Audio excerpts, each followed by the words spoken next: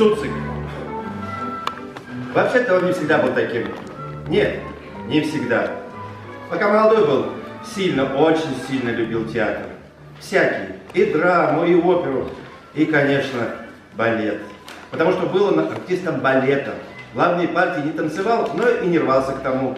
Не интриговал, не подлечил, не подхалимничал в театре, а работал, как все. Как проклятые работают балетные. В 10 утра у станка и кидай батманы, рондежан партеры, скач, э, скачи, прыгай, носись, таскай балерин. Все, как полагается в балете. Тяжкий труд. Но так затягивает он, этот каждодневный марафон движений под музыку. Чтобы плевать на мозоли, на сбитые в кровь. Ноги с утра уже хочется бежать в театр, танцевать, слушать музыку. Десять потом, чтобы с тебя спало. Затягивает. Станок. Так называется эта палка возле зеркала, к которой балетные каждый день подходят.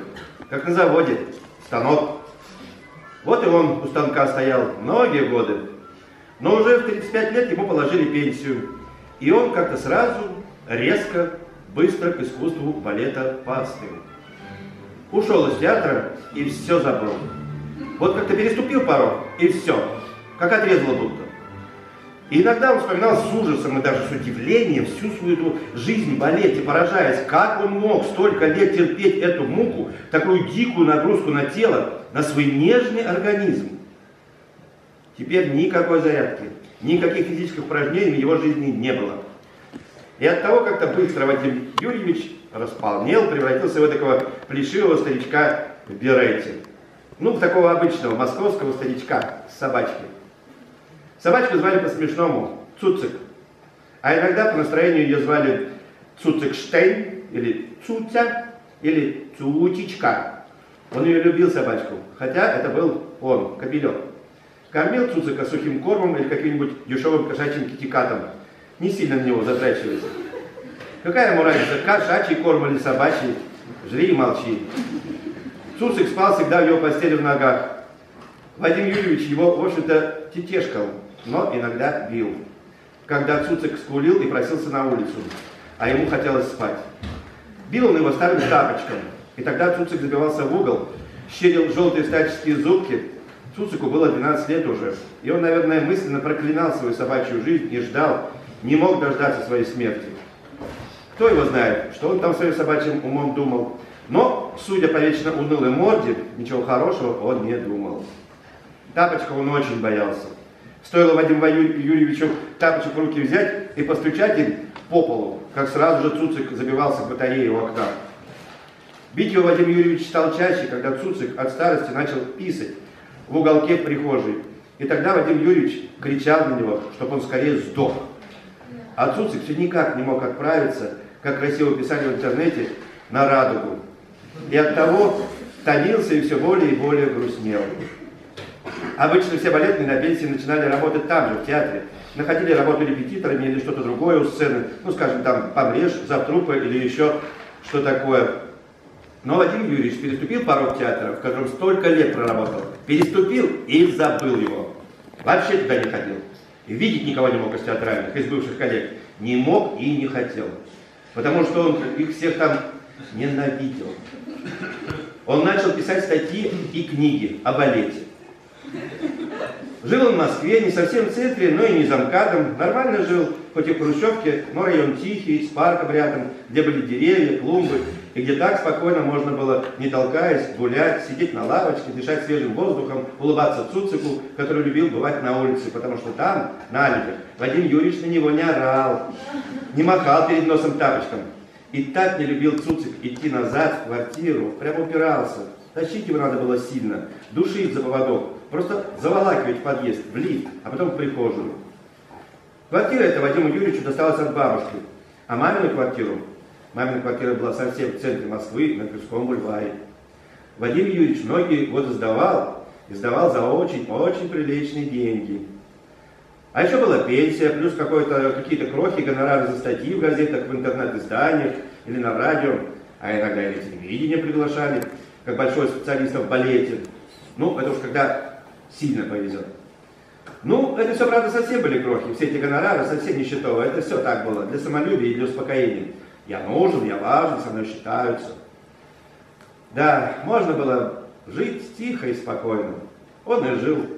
Жил, тихо улыбаясь своему покою в душе. Ему было так спокойно и радостно на сердце. Но все же, все же Вадиму Юрьевичу все не нравилось. Все, абсолютно. Все было отвратительно. Все на белом свете. Ну, понятно, что в Фейсбуке он был главной игрой. Тут он всем советовал, указывал, приказывал, указывал твердо и безапелляционно.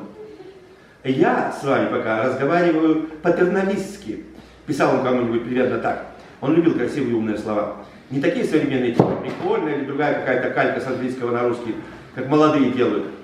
Нет, он такие слова, такие обороты речи находил в битвах в социальных сетях, что соперники паникали и исчезали от его патерналистского тона, то есть от отечества. Мол, ну-ну, мальчик, продолжай бредить. Я тебе тут такое сейчас скажу, что ты сразу же ляжешь. Все свои записи в Фейсбуке он ценил, долго размышлял над ними, копировал себе в отдельный файл на компьютер, а еще копировал их в Одноклассников, ВКонтакте, в Твиттер и, конечно же, в рассадник вольности, в Телеграм. Он везде был зарегистрирован. Он любил не только красивые иностранные слова, но и по-старорусски мог написать это вот. Ну и спалать вам, дорогой друг. Или же так вот. Ну что я тут могу сказать? Вельми понеже, голубчик. Пощады не было в интернете от него никому. Тут он рубился по-черному. А кто они такие за стеклом экрана компьютера? Кто такие, чтобы с ним спорить?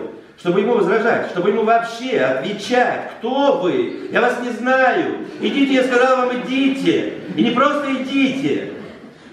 И неслось. Нет, он несся, как на крыльях. Это было как наркотик. Это была свобода. Это было счастье, когда по щекам, по мордасам он ударял своим крепким словом, своей эрудицией, своим знанием великой культуры человечества. А он и правда знал много. Это только ярлык такой, легенда, что, мол, балетные тупые все. Нет, он был другой. Его мама была иначе воспит... Э, его мама иначе воспитала. Мама жила в центре Москвы и работала в театральном музее. Она знала кое-чего, и этому учила, и научила сына, единственного сына, которому все отдала, всю нежность, всю науку. В интернете он цеплялся к словам, передергивал, кривлялся, актерствовал, спускался в ад и снова поднимался в рай. Унижал хлестко и смело, банил, разбанил. Он был хозяином этой всемирной паутины. Он как паук был в этой паутине, где знал каждую клеточку, каждую полочку, каждый кубик паутины, и где он властвовал. Да, разделял и властвовал. Короче говоря, он был там другим. Каждый вечер часов с 10 и до 5 утра. И никто никогда не узнал бы на улице, в старичке, в беретке, с поганой собачкой на поводке этого борца всего и совсем. Он был засланный казачок в, стране, в стане врага. Никому пощады не было. Много раз ему обещали набить морду те, кого он уже сильно унизил или обидел. Но пойди, найди меня, ау! Он же был под вымышленным ником в интернете. И называл он себя там Лео. Почему? Да черт его знает, просто так. Мастрояне, да и все. Да еще и Лео. Один раз какой-то подлец, которого Вадим Юрьевич уже совсем обидел, ввязавшись в ветку разговора об атомной промышленности, нагло назвал его «Мадам Гной». Да так прямо и написал. Молчал бы ты лучше, мадам Гной. Ты везде и во всем суешься. Весь интернет от тебя стреляется. Найду у тебя, мадам Гной, и отмудохаю по самой гагышары. Так и знай. Ну и дальше он обзывал Вадима Юрьевича всячески. А эти мерзавцы ставили ему лайки мерзавцы, негодяи. Но этот подлец получил свое. О, он получил, виртуально, конечно же. Уже как только, уж как только его не унижал его тогда, как только он его не осаживал, как только не оскорблял его Вадим Юрьевич, чего только он не написал ему. Боже, нет, ни одного мата, никогда. Вы что? Вадим Юрьевич был верующим человеком, и по воскресеньям, заперев Цуциков квартире, ходил церковь молиться, и он знал, что мат порождением дьявольщины, что надо быть добрым и сострадательным человеком, но и помнить при этом, что добро должно быть с кулаками. Тот подлец тогда его забанил, но Вадим Юрьевич вошел с другого аккаунта и врезал. Правда, кликуха эта мадам Гной так и осталась за ним. Как-то она распространилась по соцсетям, и везде ему теперь это прозвище припоминали. Твари. Сами вы гной, сами вы, мадам. Был он добр, на самом деле, очень добр. Просто любил ко всем привязываться. Может, ему было одиноко. Много ли поговоришь с Цуциком? Много ли поговоришь в интернете? Там ведь писать надо, а не разговаривать. А поговорить хотелось, страстно хотелось. Он любил гулять с Цуциком и привязываться ко всем. Гулял он обычно возле дома, но частенько выезжал в центр Москвы и прохаживался или на Патриарших, или на Чистопрудном бульваре. Там нередко можно было встретить всяких знаменитостей, и Вадим Юрьевич с ними раскланивался, как со старыми знакомыми, это небрежно, но на деле они его совсем не знали. Никто его не знал. Хотя очень часто все они получали когда-либо его едкий комментарий на своих страницах в интернете от Вадима Юрьевича, то есть от Лео Мастрояни. Центр Вадим Юрьевич ехал на автобусе. Не на метро же ехать, там ведь ужас и мрак, это же просто круги ада. Нет, не на метро. Там же одна чернота, хачи одни понаехавшие. Москва-бар, как правильно говорят настоящие москвичи. Именно Москва-бар. Цуцика он всегда держал на руках в автобусе, а на обратной дороге бережно паркировал на остановке лапки Цуцику специальной тряпочкой, которую носил в кармане, потом усаживал его в целлофановый пакет и так вез. Гуляя по чистопрудному или по патриаршим, он со всеми всегда ругался, и голос его далеко был слышен. Он был там, как на сцене. На него оглядывались, кто-то изумленно, а кто-то поддерживал взглядом. Были такие же старички и старушки, которые согласны были в том, что говорит Вадим Юрьевич. Их много было, тоже все с собачками грязными. И они все пытались как-то поддержать Вадима Юрьевича и его речи. Но он смотрел на них как на пустоту. Чапаев и пустота. Так назывался роман какого-то писателя. Вот он был Чапаев, а вокруг Вадима Юрьевича была пустота. Вы понимаете, что вы тут все, все тут завалено листьями, сердито говорил Вадим Юрьевич таджику дворнику. Вы должны это убрать. Безобразие. Что творится в городе? Куда смотрит управа? За что не платят вам деньги? Нет, деньги платим вам мы, налогоплательщики. Мы платим из своего кармана, чтобы вы тут убирали. А вы что делаете? Что вы стоите? Ну, отвечайте. Приехали в Россию, а даже русский язык не выучили. Подметайте, убирайте, тут невозможно идти людям. Листьев столько навалено, что можно поскользнуться. А уж тем более пожилому человеку. Метите, сказал. Вы должны это убрать. Скоро пойдет дождь, будет скользко, люди будут падать. Падать станут десятками. Люди сломают себе руки, ноги, а еще страшнее шейку бедра. И тогда вообще станут инвалидами. Залягут на многие годы в постель. Останутся в инвалидной коляске из-за вас. Из-за вашей безалаберности, лентяйства и разгильдяйства. Он шел и шел, Цуцик бежал рядом, а он все говорил и говорил громко. Безобразие. Во что превратилась Москва? Какая грязь, какой бардак. И всем наплевать, никто не следит. За что я плачу налоги? За что все население России платит налоги? Правительство наше, вот такое оно у нас. Видите? Это, эти вот черти черные понаехали, черт знает, что творят в Москве. Это просто отвратительно, никуда не годно, никакого порядка, кошмар. Цуцик бежал и бежал рядом и виновато посматривал на хозяина. Он, конечно же, не понимал, о чем говорил Вадим Юрьевич, но его пугал злобный тон его речи. И Цуцик все время думал, что это про него, что сейчас ему перепадет, что сейчас в воздухе откуда-то появится тапок, потому что он что-то не то сделал. И потому он все смотрел и смотрел воровским взглядом то налево, то направо.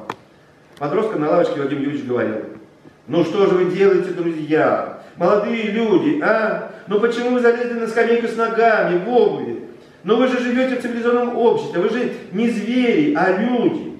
Неужели дома у себя вы также себе позволяете залезть в обуви на постель, на стол, на стул? Ну как вам не стыдно? Кто вас учит? Где ваши учителя? Где вас учат культуре поведения на улице? Ведь потом придут сюда другие люди, они сядут, не заметят следов грязи, сядут и выпачкаются. Вы о других думаете хоть немного или только о себе вы думаете? Иногда подростки вставали со скамеек, чтобы не вступать в перепалку со злой дяденькой и противной собачкой вставали и уходили, что-то бурчали недовольно, а иногда самые наглые или начинали хохотать, кричать ему вслед. «Дядя, заметь, у тебя собака, как будто ее и посуду мыли. Дядя, возьми ее за хвост и стукни об дверь.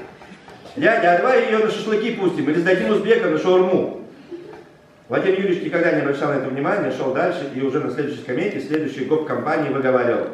«Не курите тут, тут дети, Тут пожилые люди ходят, невозможно дышать.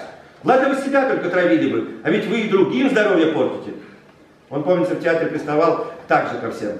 Вдруг переставал плясать и начинал кричать в оркестровую яму. Но тут должен вступить Габой. Почему Габой не вступает? А где он? Уехал в Сочи с концерта. Может, ему там лучше и остаться в Сочи. Играть на свадьбах похоронах со своим олимпийским задором и зарядом. Какой-то бред, какой-то невозможный бардак. Была Вадима Юрьевича когда-то супруга. Правда, недолго. Вот она ему через какое-то время совместной жизни, когда он ей гундел, что она то или то не так сделала, стала говорить, ты опять пил касторку с утра? Она достала его с этой касторкой. Какая касторка? Что это такое? Не знал Вадим Юрьевич, знать не хотел.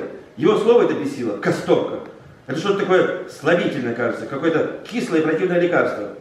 Жена это тоже работала, его, то есть, э, в, этом, в балете. Не пил он касторку. Но вот она, как я звали, Вадим Юрьевич уже забыл, все время своей иглой, этой своей касторкой ему вонзалась в мозги каждый раз, каждый день. Но недолго, года полтора, а потом расстались. Кажется, сейчас она снова замужем, у нее дети. Вадиму Юрьевичу неинтересно. Он вырвал ее из своего сердца. Выжег каленым железом.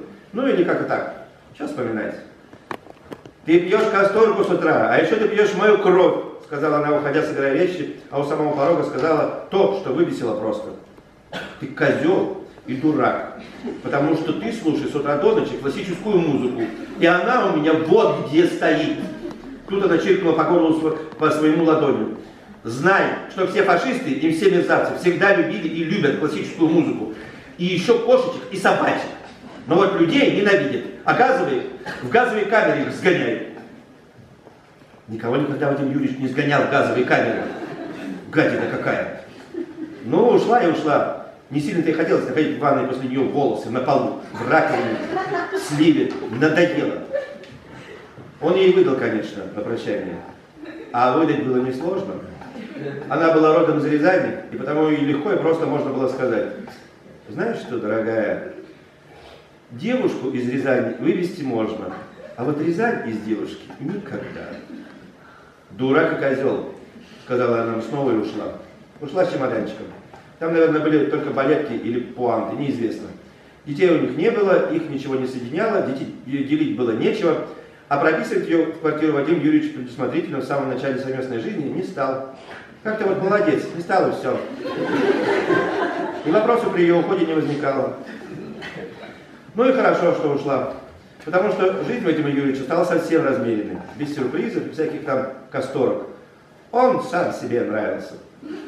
У него был заведенный распорядок, кофе с утра, погулять с Цуциком возле дома, потом пару дисков прослушать с классической музыкой, перемешку с интернетом, новости, шумовости, потом обед, готовил он сам, готовил хорошо, потом поехать в центр на прогулку, свежий воздух всегда полезен, и еще чтобы Цуцик как следует пописал, покакал, там поругаться со всеми, потом к вечеру домой, плотный ужин и интернет надолго, до утра. И так каждый день. Хорошая была жизнь, тихая спокойная. Ничего больше не было надо. Ничегошеньки. Иногда вместо дисков с классической музыкой, их у него было огромное количество, он слушал, слушал радио «Орфей». Сидел в кресле качалки и предавался раздумьям. Под классическую музыку можно было с улыбкой думать о чем угодно. И прежде всего о гениях, которые эту музыку создавали. Он хотел бы встретиться с Моцартом, поговорить с ним о чем-нибудь, или с Бетховеном, или Шостаковичем. Это было бы счастье. Часто Вадим Юрьевич разговаривал с ними, летал в каких-то сновидениях, в чем-то нереальном, придумывал, даже вслух что-то говорил им всем, спорил, возражал им, гением чувствуя себя им равным, образованным и искусным во всем, что касается музыки, оперного и балетного искусства. На окне у него росло три горшка каких-то неведомых растений, которые можно было не беспокоить, не поливать годами, а более ничего живого. Ну, только плюс цуцик. В квартире не было. Муха иногда залетала какая, но она всегда попадала в капкан, в сети паука, который тоже много-много лет жил за унитазом, и выгнать его оттуда Вадим Юрьевич не мог, да и не хотел. Паук свил там сеть, сеть была пыльная, можно было бы и, и паука, и сеть оттуда пылесосом вытащить. Но почему-то Вадиму Юрьевичу было жалко, пусть живет. Да и приятно было, что утром, пока темно, или вечером, ночью, когда он включал свет в ванной, то видел всякий раз, как паук удирает в щель за унитазом, в щель в стене. Чем он там питался, никто не знает. Может, пыль ел, сладкая была, наверное, пыль. Вот так он жил. Так жил прекрасно Вадим Юрьевич. Он страстно, особенно страстно любил доставать стюардесс, официантов и всю обслугу в гостиницах. Они ответить не могли. На улице тоже было, можно было и даже интересно было привязываться ко всем, со всеми скандалить, но это еще и опасно было, можно было и по роже схлопотать. Всякие ведь были неадекваты. Да, схлопотать можно было, и пару раз доходило до стычек. Все-таки, как ни говори, Москва – город возможностей и хачей. Ну вот, хотелось ему привязываться ко всем. Во всем он видел непорядок. Но чаще опасался и выбирал только тех, кто не мог ответить. Вадим Юрьевич был физиономист и большой психолог. Жертву видел издалека. А вот уж кто точно ответить ему не мог, вот вся эта шушера, все эти официанты, продавщицы и прочая обслуга. Тут уж им доставалось. Вот уж кто не мог вякнуть и терпеливо выслушивал все нравоучения Вадима Юрьевича. Вот уж кто расплачивался кровавыми слезами за свое место, за свою работу. Вот уж кому попадало, да так, что выть хотели, но молчали. Ведь могли бы и погнать с работы. А где потом найти ее работу, как устроиться? Как же, не получится ничего, пролетишь мимо кассы. В этих мальчиков и в этих девочек, которые носили в самолете еду, которые мыли пол и меняли полотенца в гостинице, которые торговали в магазинах, сидя за кассой, вот тут уж воля его была, тут уж он в них впивался как клещ. И никто, главное, не мог в ответ вякнуть, что было особенно приятно. Никогда. Раз или два раза в месяц он летал в Питер, в Мариинский или в Михайловский театр на премьеры. Нет, нет, только билет только балет или опера, ничего другого. Никогда, упаси бог, никакого театра драмы, никаких этих вот, вот этих новомодных спектаклей. Цуцик он сдавал соседке за плату, ровно на сутки. Сдавал и улетал в Питер. Цуцик был счастлив, кажется. Когда он ходил в квартиру соседки, он полз на брюхе от порога и до кухни. Соседке лишняя копейка была нужна, она никогда Вадиму Юрьевичу не отказывала. Правда, они не дружили, только здоровались на лестнице, если встречались. Она как-то попыталась пару раз ему испечь пирог, а потом блины, но он ей жестко ответил, когда она ему в дверях протягивала тарелку, что не нуждается в пище, у него все есть, благодарю. Может, были у соседки какие-то планы на него, ну кто знает, что у этих баб на уме. Потом она отстала со своим желанием задружиться, потому что узнала, что он из балета и решила, что у него не совсем порядок с ориентацией. Да и плевать, не и хотелось. Мужичонка-то он был дрянной и гуняил в ее глазах. Хотя сам Вадим Юрьевич считал себя красавцем.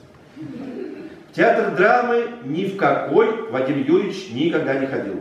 Эта гадость под названием «современная драма» не просто не интересовала Вадима Юрьевича, он брезгливо морщился, даже читая афишу московских или питерских театров. Это все из жизни червей, это все было за гранью понимания Вадима Юрьевича. И зачем оно ему надо было, зачем ему тратить свое драгоценное время на эту билиберду, как они там это называют, вербатель, театр до, боже! Не знал, не смотрел и знать не хотел, ничего про эту грязь и мерзость. Никогда, ни разу не было в этих новомодных театрах драмы. Он был наслышан, ему это было достаточно. Он и не пытался разобраться, он не хотел даже понимать этого ужаса черного причерного. Зачем? Упаси Богу, Господи. Порог не переступал он этих подвальных театриков. Чернуха, прости Господи, гадость. Порнуха, прости Господи, еще раз. В Питер он только самолетом летал. В поездах грязно. В поездах идут только китайцы. Они орут, лопочут и суетятся невыносимо. К тому же в поездах чудовищное обслуживание. К тому же, это давно известно, от китайцев все идет, в том числе и зараза. Чихнет какой-то желтолицый, и все. Ты уже в морге, протянул лапы. Это же давным-давно известно. Миллиард китайцев живет на земле. Загнили они уже все у, там у себя в своем Китае вонючим. И потому в Питер только самолетом. Летать он боялся, как и все. Самолет ходил всегда только с левой ноги. Такая у него была примета и всегда считал на взлете до 56 секунды. Где-то он вычитал, что самолет разбивается обычно на 56 секунде. Досчитывал, а потом продолжал качать права. Потому что в самолете он сразу сходу при посадке требовал, требовал, требовал, требовал к себе внимания, требовал качественного сервиса, требовал высокой культуры обслуживания. 40 минут до Питера из Москвы. За это время он всем мозг выедал, за эти 40 минут. Я плачу такие деньги за билет на ваш самолет, выговаривал стюардессе через 56 секунд после взлета. А это кресло проваливается, вы понимаете, оно проваливается. Неужели вы не видите? Хотя никогда никакие кресла не проваливались, все было нормально, но...